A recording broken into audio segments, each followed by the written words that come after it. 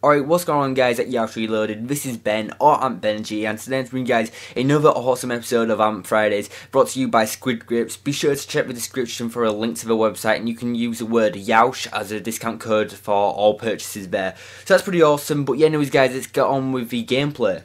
This is a 41 to 3 gameplay using the Peacekeeper uh, on the map Hydro, and you might be thinking, Ben, come on, this is Amp Fridays one about. We want to see some 200 plus awesomeness.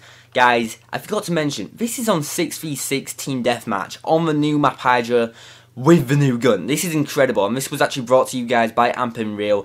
And uh, oh my god, this gameplay, this awesomeness is just awesome. Yeah, I know, right? That makes a whole lot of sense. But um, yeah, anyways, guys, he actually runs around with Peacekeeper, and I don't think he actually used it too much. Uh, I think it was actually a low level, so you know, this was pretty much a new gun to him. And I, I for one, I've actually used this gun a fair bit. The damage on this gun is actually pretty low, however the rate of fire kind of counters that because it is deadly up close. You can drop people within like half second, you know, it, it kills people extremely fast. So, once again, if you actually use this as an SMG, it'll work extremely effectively. However, one of the best parts about this gun is it's got almost no recoil. It's one of the, you know, it's like pretty much the MP7 with a smaller magazine.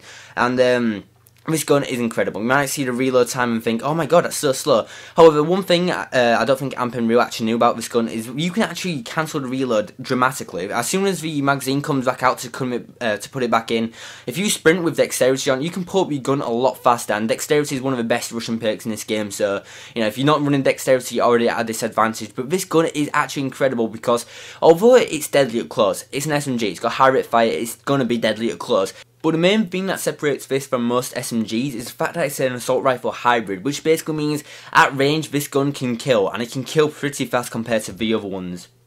I do warn you guys though, at the moment, pretty much everyone's going to be using this gun or everyone's going to be buying it since it's Friday and then, you know, some of the little kiddies will go on and try this gun out. Uh, they won't have an suppressor on, they, they, won't have an suppressor on, they won't have this gun suppressed basically, which means that it's going to have a lot more power on it than, say, this gun with a suppressor on.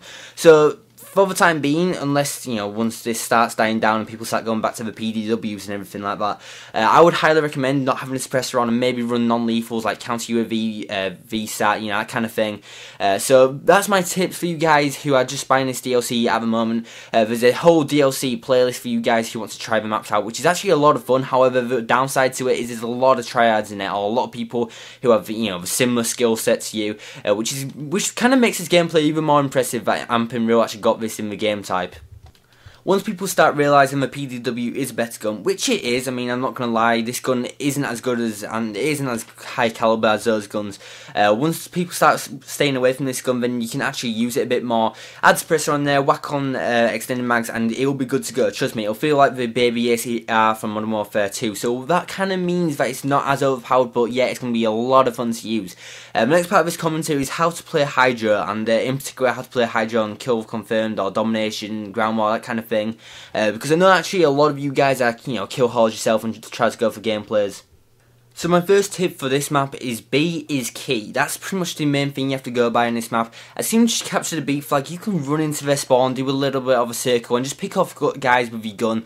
And uh, because, you know, you might be using a new uh, DLC gun, and you might have it unsuppressed, and you might have, like, non-lethals on, then that means it's pretty easy to get nuclears at the moment, because also on top of this map, uh, on top of this map, on top of that, uh, this map has a lot of levels, so you can just jump over people, take them by surprise, and overall there's a lot of jump spots, and it's extremely extremely exciting for gun and gun play as you'll see in this gameplay. My next tip is actually look both ways before crossing because if you didn't know one special thing about this map is actually that water flows through it and if you go in that water then you will be killed. I mean there's no two ways about it.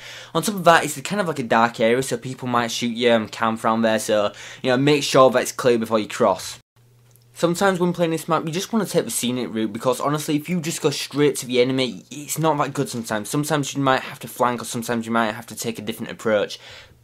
My final tip is actually to tell you guys to run laps around the map, run in circles around the map, stay away from the middle because it's just a death trap, so many head glitches, so many snipers, just stay away from there, you'll be better off without it.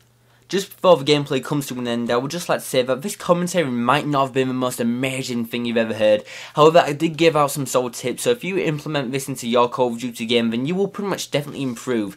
Uh, the other thing I would like to mention is that on my personal channel, uh, which I would be ever so grateful if you actually visited, um, I talk, you know, less formal, I just talk down to earth and just talk about thoughts in my mind. So Hope you guys did enjoy the video. If you did, leave it a like. Check out my channel, Amp Clans and Rails. The link will be in the description. Have a nice day. See ya.